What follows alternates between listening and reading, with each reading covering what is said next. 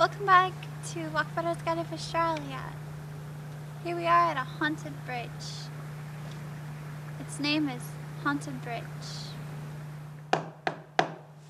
And here is where a man with a hat, a ghost from the 1920s or something, was seen here. Will we spot him? Who knows?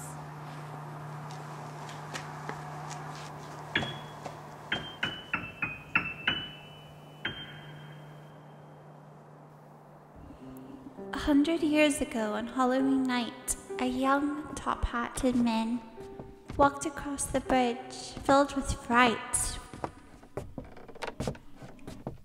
On his way to a toothpaste appointment, he was about to be disappointed. Along came a Model T drover who accidentally ran him over. Then his ghost, who was as cold as a broken thermostat, tried to swipe any passing traveler's warm top hat.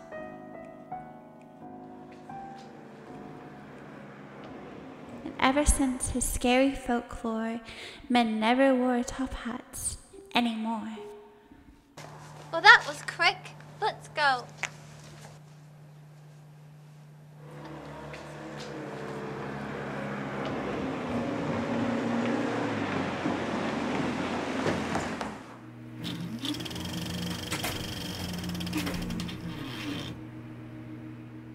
Speaking of scams, subscribe.